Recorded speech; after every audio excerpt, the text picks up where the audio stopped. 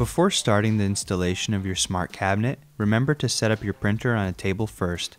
You can do this by clicking on the video that appears on the screen or for more information visit the link in the description.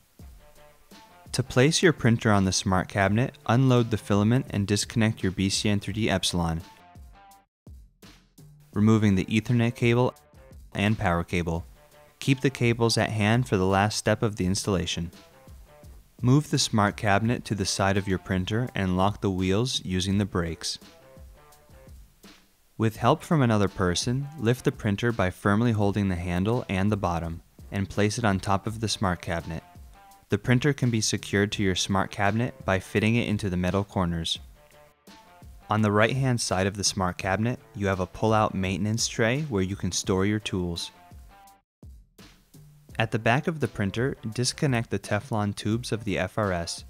With one hand, press and hold the gray connector down, and at the same time, use your other hand to gently remove the Teflon tube, which should come out easily. Connect the two Teflon tubes to the external outlets that you'll find at the back of the smart cabinet, then connect them to the FRS. Don't forget to attach the coupling clips to the ends of the tubes.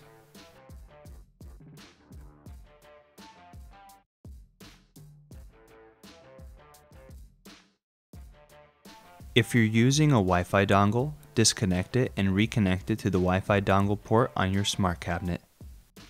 Use the USB link connector to connect the printer with the smart cabinet.